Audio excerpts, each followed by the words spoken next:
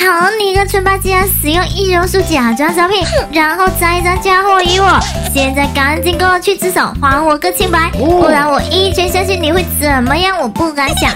就你，平时的你还不是我的对手，脑筋急转弯也没我快哦。对了，你那猪头呢？那猪头和你那么大，你怎么就切掉了？可惜可你是死到临头还不知悔改，害 我吃了那么多苦，你还是趴着吧？森林要帮我镇压他，千里传音开启。官爷，我已经抓住他了，你快过来！嗯，不愧是我选中的天选之人，我马上就过来。就一个破笼子，还想关注我一辈子？我就让你得意一时。今天就是最后一天了，你还是想想怎么承受所谓的怒火吧。再见。小兔子，我来了，你可真厉害啊！哎，说好的人呢？你不会以为解除了我的面目全非前，我就没办法控制你了吧？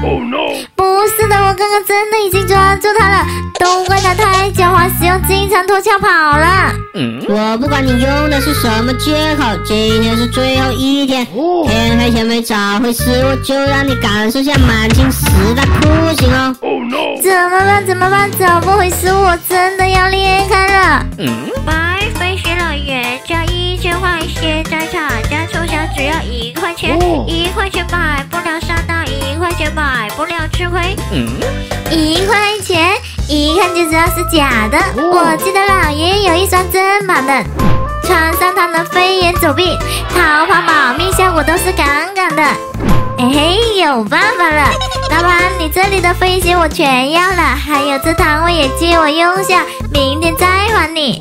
想不到真的有人上当，守株待兔，古人全部欺我，一共十双，才会十块钱。飞鞋了，不要一千，不要九九八，只要九百。只是以物换物，假一赔三。刚刚碰到卖小小货的老板说遇到水鱼，原来就是这傻兔子，还假一赔三，不把你赔到姥姥家，我就不是村霸了。喂喂喂，真的是假一赔三吗？别到时找不到人了。我这摊位有城主做保证，你就算信不过我，也要相信城主。我这里有九把神器，都换飞鞋了。我没有那么多，要不你留个地址，我明天寄到你家。我家地址就是隔壁老王村里面最帅的那个房子。叮咚，你的快递收到，请查收。终于来了。哎，怎么满箱子都是鞋？不应该只有十对鞋子吗？